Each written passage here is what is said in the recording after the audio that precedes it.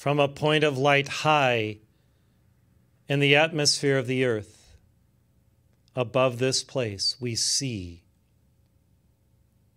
a great star fire energy field that is building.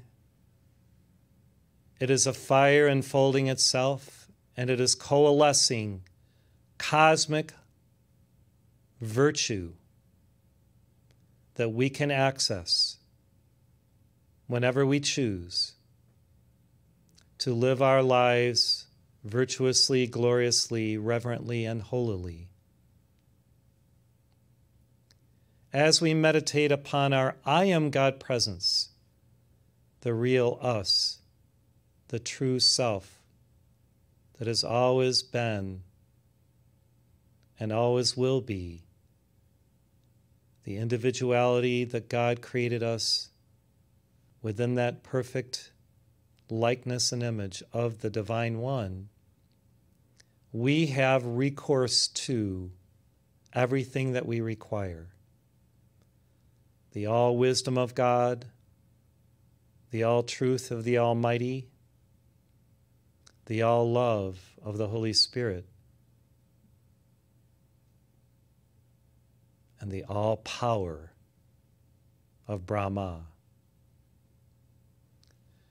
This I am God presence that we revere and that we assent to as our true inner leader and the guide and the pole star of our own being is here for us to know,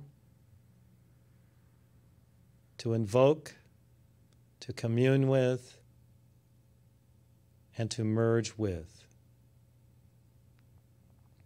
Our real self has always been aware of us, individuated and evolving and involving itself in time and space in the material cosmos or the time space continuum, even as it abides in eternality beyond this dimension of being.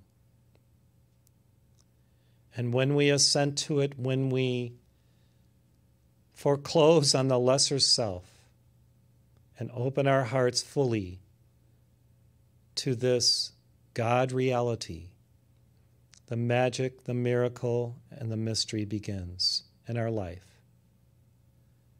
And we are so blessed, even as we are blessed by our I Am God presence.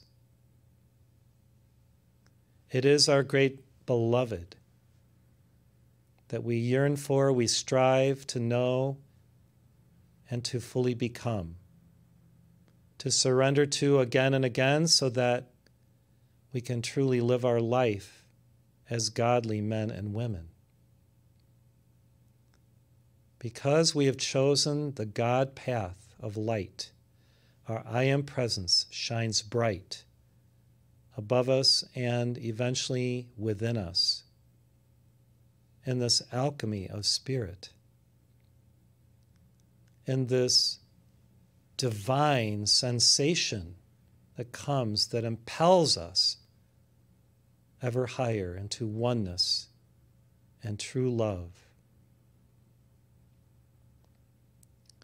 Because God is within us, the kingdom of God is within us, and the answer to every problem, issue, or dilemma is within us, we simply surrender to the process of going within deeper and deeper to ascertain more of this reality and to feel ever more deeply this connection and retain and maintain that connection by our conscious choice to live in presence. When we choose God over the world, when we choose light over darkness and God goodness over evil, our I am presence shines brightly in our midst because by that choice and by that intention, the alchemy of the energy field that supports and protects and seals us manifests. and that alchemy is maintained through love and through attention and the volition of our will to live within it. We now enter the causative state of being an initiate where we are co creators with God of all the virtues that we are privileged to bring forth reverently, holily, lovingly.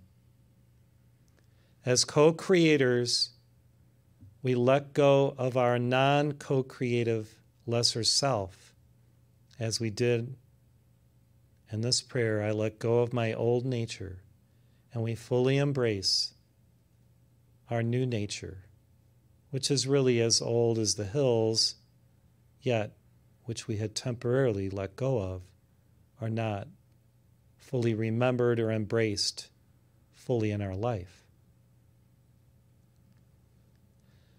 The old nature, we realize, has been a chimera, a shadow, a fleeting thing that really has no true reality.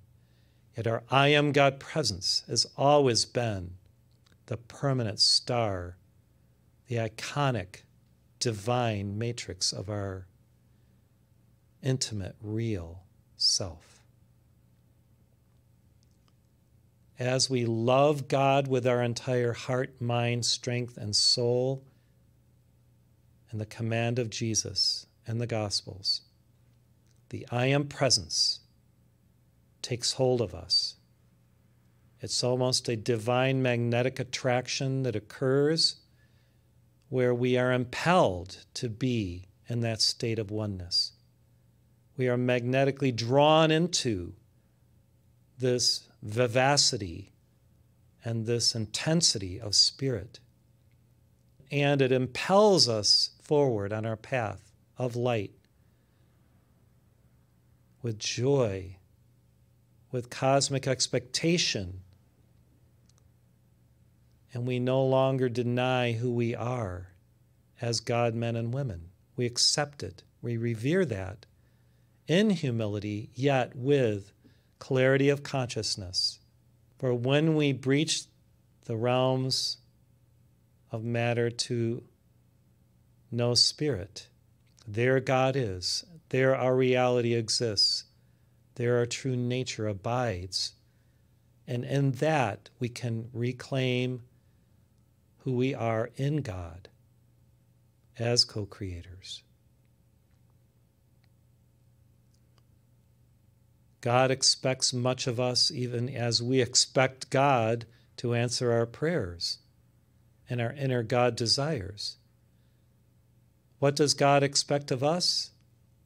Simply that we adhere to cosmic law and understand our nature and then engage in co creativity with the Creator of all, the source of life and light.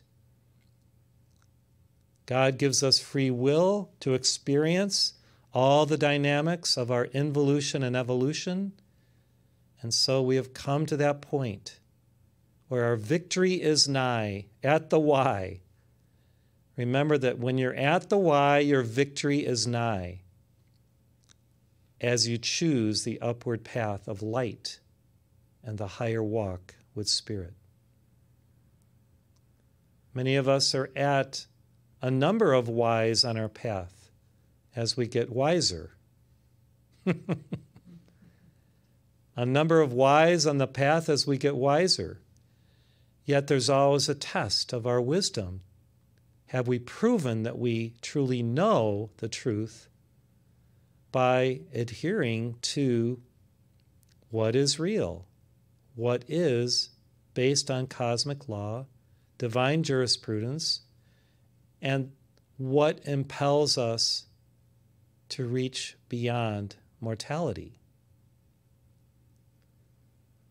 So, to ascend, we have to get the victory at each point or each why. And to be victorious, we become wiser and wiser as we master the whys of our life. Our past lives come into view often when we have surrendered our past to God in the eternal now.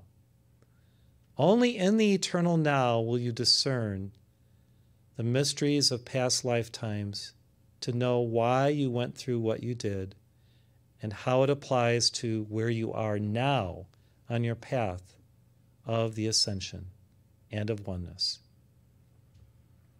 If you seek to know the past without being in the now, it's a dead end because if you focus too much on the past, you're not letting go of your old self, right?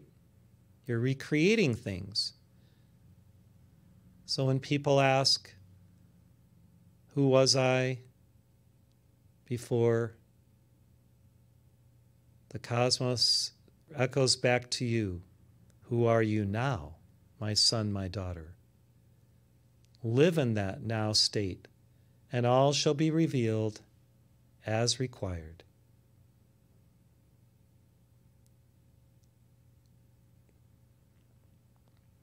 The I Am Presence is the star of your being, the solar self of your true nature. Everything that you ever could dream of or require or need from any state or level of being or consciousness exists within your I Am Presence. It has the answer to everything. It responds to the littlest impulses that you may have as you move through life and require anything on your path. Yet you have to be quickened and awakened to discern its answers through stillness, through deep hearing of what God has to share with you. Do you think that God would not offer you his, her wisdom along the way? Of course, God does, as a loving father, mother. Yet you have to be still enough to listen and hear what God is telling you within your conscience, within your Christ self, the mediator between your individuality and matter and your divine selfhood and spirit. And the Christ is the great discerner and medium or mediator through which you can hear from both sides of the equation and understand the communique. So when you rely on your Christ self, then the mediator is present within your awareness, and discernment is easy. And through dedication you simply know the truth as you require knowing anything. It's not so mysterious when you break it down into little pieces of understanding. It's really a very simple dynamic to know the elements of the path that are required for you to gain self mastery and to become truly who you are.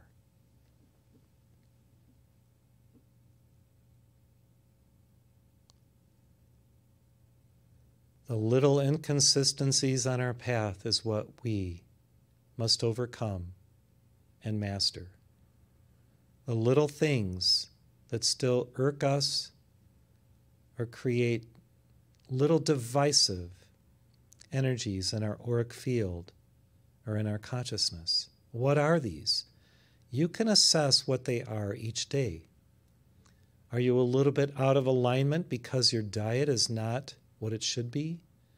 Or you have been diverted in your consciousness to dwell on something that really has no lasting import for you in the moment or for eternity? Where have you diverted from your focus on God and the I Am presence? That is what you must assess when you feel ill, you feel less than, you feel out of sorts. Where have I diverted myself from attending to the things of the Spirit and being one with my God presence. And when you find the answer through deep introspection, resolve then to be on spec all the time, to be in alignment with the God presence that so loves you, adores you. We adore God. Did you know that God adores you?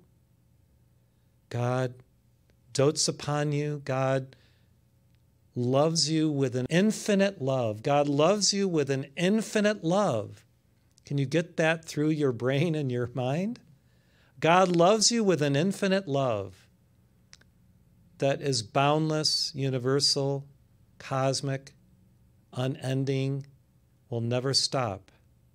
Even if you temporarily lapse into states where you don't appreciate or love God fully, God is still loving you as the sun shines upon the just and the unjust. God still loves you. How could God do anything other than to love you? If God stopped loving you perfectly, the cosmos would be in error, and that cannot happen because God is pure light and pure love. So if God unerringly loves you, play with God and respond to that love and find ways to engage in loving God in childlike wonder and creative acts and expressions that build the relationship and sustain the dynamic of how that love can continue to grow under Holy Spirit inspiration. when you commit to loving God with your whole being, as we've been saying in this prayer every day now, that love should continue to grow and expand and bring you closer and closer to the dynamics of oneness, where the impelling power of the Holy Spirit moves you hourly, even minute by minute, into that afflatus of light that is so beautiful and holy and pure that that's what you yearn for. You're not concerned about making someone else love you to feel whole. God already loves you. You are whole. Do you realize it? Have you committed to that wholeness, body, mind, and soul? The love of God is the answer to every problem on earth. The love of God. That means our love of God and God's love bestowed upon us to heal all, to bring all into balance and harmony. The love of God is the answer to every problem on earth.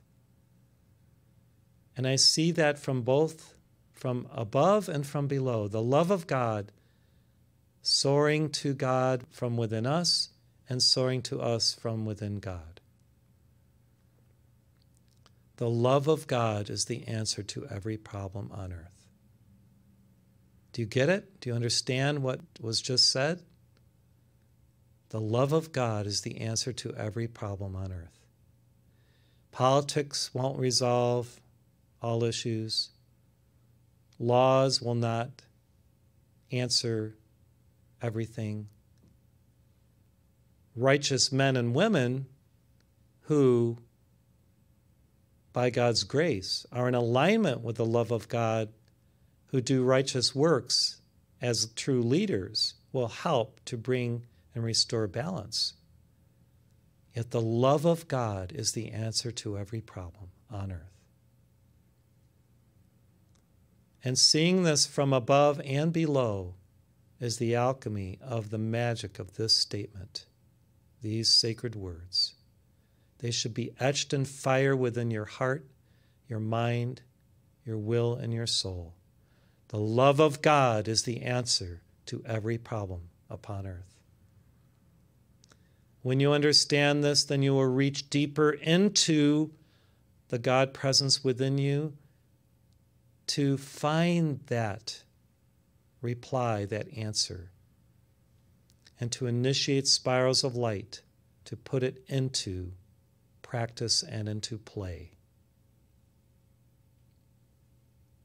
Let us say it together. The love of God is the answer to every problem upon earth. The love of God is the answer to every problem upon earth. The love of God is the answer to every problem upon earth. This statement rings throughout the cosmos and it touches every man, woman, and child today in their divine selfhood to remind them of what is required to meet the needs, the requirements of today.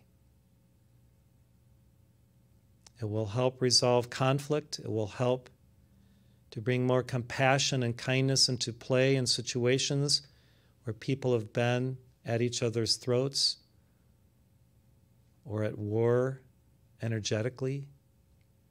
It will sustain a state of grace that itself, through the Holy Spirit, will mitigate, mollify, and transmute the dialectics of division and darkness.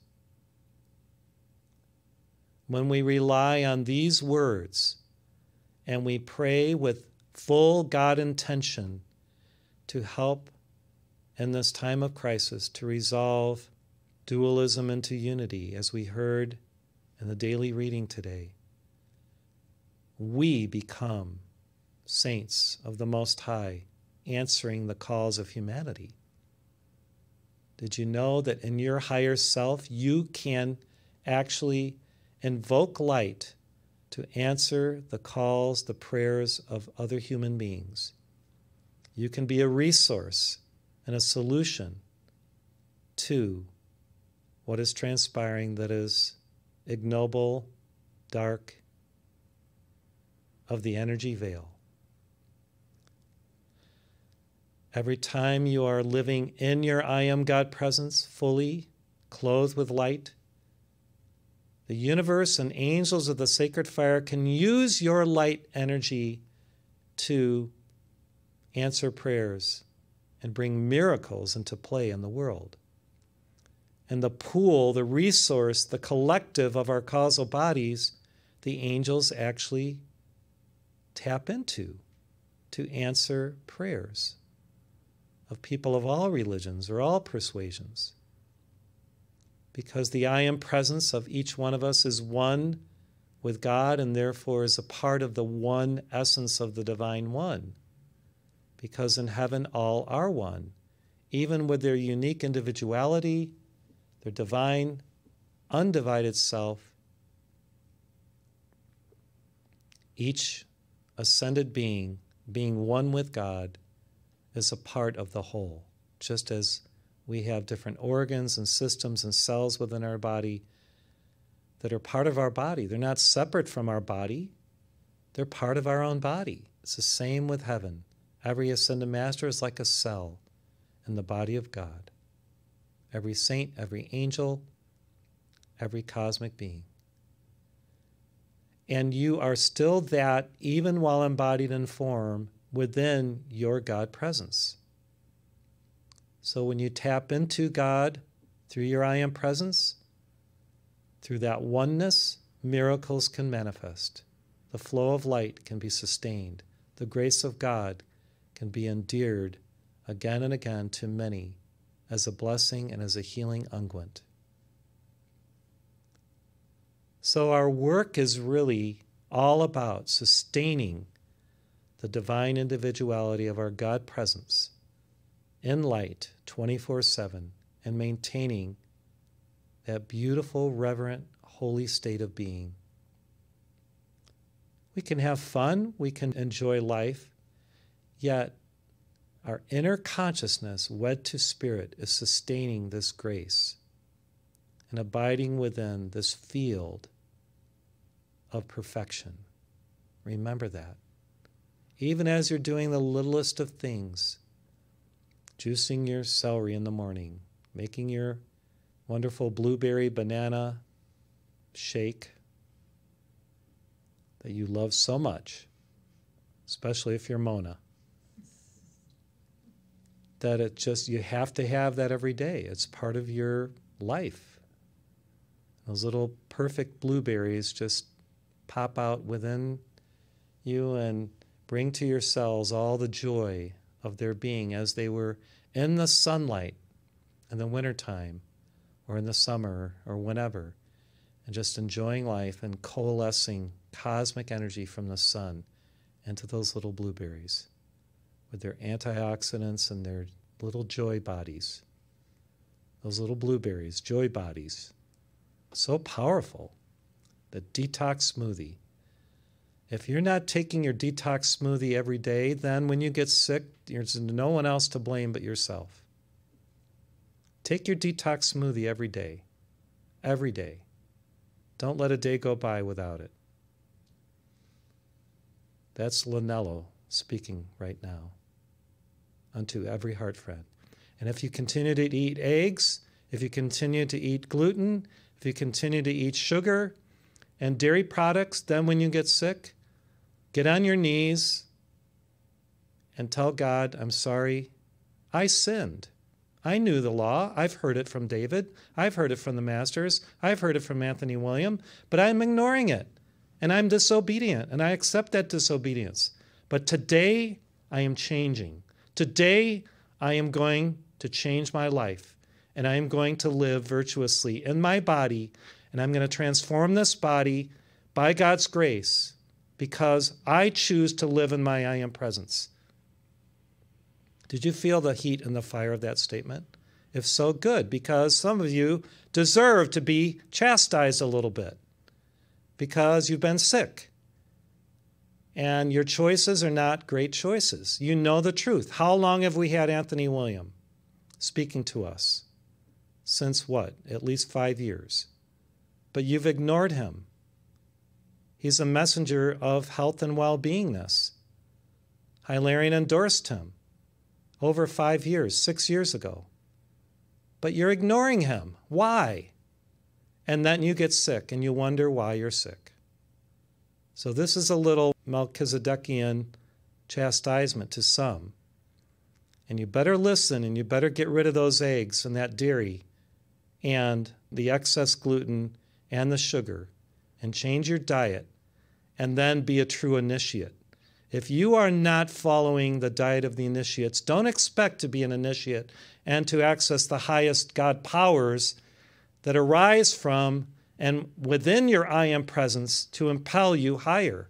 Don't expect it. Compromise all you desire and live in a lower light field. But if you truly desire the greatest light energies, the alchemical cosmic powers of God, that the Essenes had because of their disciplined life and diet, then abide by that diet, live in that regime, and be emboldened by it, and be true to it, and be true to yourself. Now, every once in a while, when you travel or when situations arise, you may compromise a little bit, but you go back to that. You live in that. You understand the dynamics of it. Why do we have this diet regime? so that we can anchor the most light in our body temples and be empowered by the Holy Spirit to be true God healers and inspirers of mankind. Don't expect to be a great healer if you yourself can't discipline yourself. If you choose to discipline yourself, then open yourself up to the all light of the Almighty and watch the handiwork of the Lord move through your body temple and coalesce miracles in this dimension. I know that I've compromised. I've said to myself over and over if I just maintain the diet and the disciplines that I know that I should, I can release so much more light. I can do it. And yet I've even compromised over and over. So this is as much for me as any of you. I know it. You know it. When, O oh God, will we sustain as initiates the disciplines of the Spirit to live as a true Essene community of light? When will we? It's based on every person's decision. So, as a community, we will magnetize more light bearers, light workers, light sharers when each one of us takes accountability. Each one of us self disciplines our life and doesn't say, well, nobody will notice. Yes, we all notice in our higher presence when one person here or there compromises on the path, wastes time, does this or that, which is not optimal for them and for our sacred community because we're all tied at the hip. We're all hitched at the heart. We are all one. So, what one does impacts the whole body, right? What each one of us does impacts every one of us. Make your choices the best. Live in the integrity of who you are. Let go of your old nature. Decide today. We just said these sacred words I let go of my old nature. Assess what that old nature is. Old artifacts of your lesser self, of who you used to be, who you were before you learned the truth. These are hard words for some to hear, and you may rail against me or Lanello or the masters who are overshining me today. I don't care.